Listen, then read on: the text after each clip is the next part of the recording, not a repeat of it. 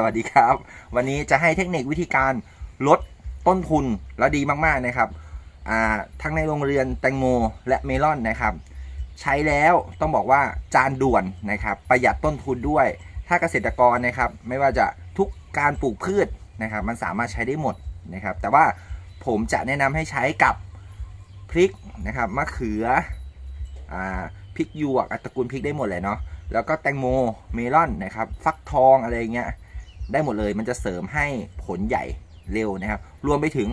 ไนโตรเจนนะครับ ใบเขียวเนี่ยเขียวมากๆ เพราะว่าในมูลสัตว์ตัวนี้นะครับ มันจะมีไนโตรเจนสูง ฟอสฟอรัสก็มีนะครับ แล้วก็โพแทสเซียมสูงมากกว่ามูลสัตว์ชนิดอื่นๆนะฮะ นี่เลย อันนี้แตงโมของเราพาชมนิดนึงนะครับ หลังผสมเกสรน่าจะอยู่ราวๆสามสองถึงหกวันนะครับ ประมาณนี้ แล้วก็เมลอนเนี่ยผสมเกสรวันที่สามประมาณ สองสัปดาห์ยังไม่ถึงสามสัปดาห์ครับ เดี๋ยวพาไปดูใช้สูตรเดียวกันเลย ไปชมครับนี่เลยครับ นั่นก็คือ ตัวนี้เลยนะครับ ประหยัดต้นทุนได้ดีมาก ๆ นี่ ตัวนี้คืออะไรนะครับ คือมูลสัตว์นะครับ ที่ผมใส่เข้าไปจะผมใส่ใส่เป็นมูลสัตว์แห้งนะครับ ตัวนี้ผมใส่เป็นมูลไก่ไข่ ถ้ามูลไก่ไข่เนี่ยไนโตรเจนจะสูงฟอสฟอรัสก็มีและโพแทสเซียมสูงมากนะครับ ไปดูตารางธาตุเนี่ย จะสูงมากกว่าชนิดอื่น แต่ต้องเป็นมูลไก่ไข่นะนะครับ แต่ว่าอ่ามันจะมีมูลไก่ที่เป็นแกลบเนี่ยก็ก็ใช้ได้อยู่นะครับ แต่ให้ดีก็เป็นที่มันนี้เลย แล้วผมอะทำให้แห้งหมักก่อนนะครับ จึงทำให้เรียกว่ากลิ่นไม่ได้รุนแรงถ้าใครที่ใช้มูลไก่นะ แล้วเอาแบบสดๆมาใส่นะอื้อหือเหม็นลืมนะครับ แต่เนี้ยคุณต้องใช้เนี่ยแล้วถ้าคุณไม่มีคุณใช้มูลวัว หรือว่ามูลหมูได้หมดเลยนะครับ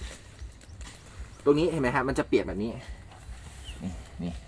ทีนี้ไอ้กากตะกอนเนี่ยเราจะใช้ไปนำอ่าผสมปลูกพืชเนี่ยได้เลยนะครับ ก็คือเป็นวัสดุที่เย็นแล้วเนี่ยเนี่ยเนี่ยแบบเนี้ยนะครับ เทไว้โคนต้นไม้นะครับ หรือเอาไปปลูกผักสวนครัวเนี่ยกับการปรุงดินจะดีมากๆนะครับ แล้ววิธีทำเนาะไม่ยากนะครับ มีมูลสัตว์แห้งนะครับ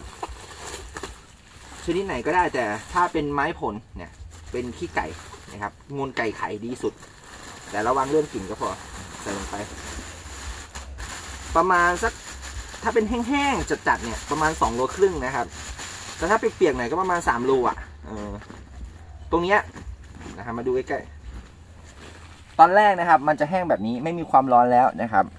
กลิ่นก็ไม่มีถูกน้ำกลิ่นก็เบาๆนะครับ ไม่ได้แรงเหมือนที่เราเคยเจอบางทีเนี่ย คุณให้ใช้ได้ดีแต่ให้คุณระวังนะครับ ในเรื่องของมูลไก่ไข่ แต่ขี้วัวเนี่ยมันไม่ค่อยมีกลิ่นนะครับกลิ่นมันไม่ได้แรงนะอันนี้ผมผมเป็นห่วงนะครับ บางคนทำตามคลิปเนี่ย เรียกว่าดีมาตลอดนะครับ ก็ชื่นชมหลายคนเนาะแบบโอ้โหทำตามน้องปอนนะครับอ้าวอันนี้ก็สวยอันนี้ก็สวยได้จริง ๆ ด้วยอะไรเงี้ยผมก็ดีใจด้วย แต่บางครั้งเอ้าทำตามแล้วทำไมมันเหม็นอย่างเงี้ยทำไมคือผมก็เลยพยายามอธิบายนะครับ ประมาณให้แน่นอย่างเงี้ย อะเสร็จแล้วผมก็ไว้ในถังแบบนี้นะครับ แล้วหลังจากนั้นนะครับทุกเช้าเนี่ย อันนี้มันเย็นแล้วผมผมไม่ได้เปิดน้ำนะมันก็จะมีน้ำอยู่ก้นถังเนี่ยมันจะแช่ไว้ก่อนคืนนี้ แล้วตอนเช้าผมจะเปิดน้ำเติมเข้าไปนะครับ มันก็จะเป็นน้ำมูลสัตว์แช่มูลสัตว์แห้งแล้วทีนี้ผมก็ปล่อยระบบน้ำผมจะเปลี่ยนตรงเนี้ยทุก 10 วันถึง 15 วันครั้งนะครับ ส่วนที่เหลือเนี่ยมันไม่ได้เหม็นแล้วนะ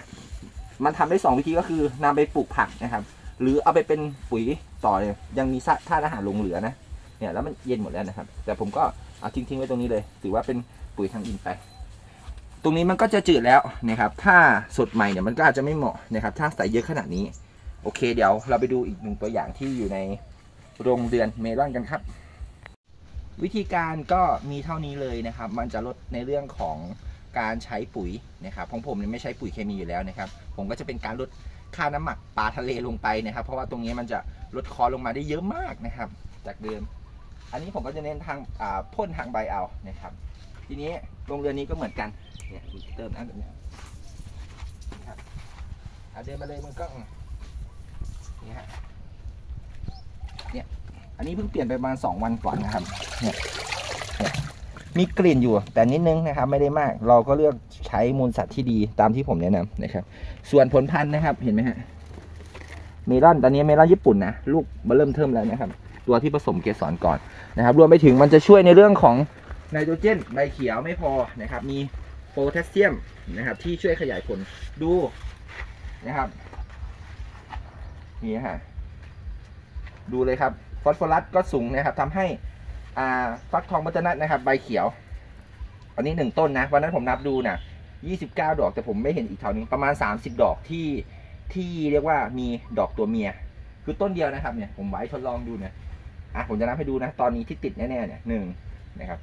สองสามสี่ห้าหกนะครับข้างล่างอีกนะครับเจ็ดข้างล่างนู่นนะแต่ว่า คุณอาจจะมองไม่ค่อยชัดนะครับ เนี่ยแต่มันมีอยู่แล้วนะครับ มากกว่าสิบลูกแล้วตอนเนี้ย แต่มันจะติดกี่ลูกนะครับ มาว่ากัน แต่จริง ๆ เต็มที่เนี่ยถ้ามันติด 30 ลูกคือจะเป็นภาพเลยที่สวยงามมากนะครับ โอเค นี่นะครับ ก็กำลังเข้าลน์โอเค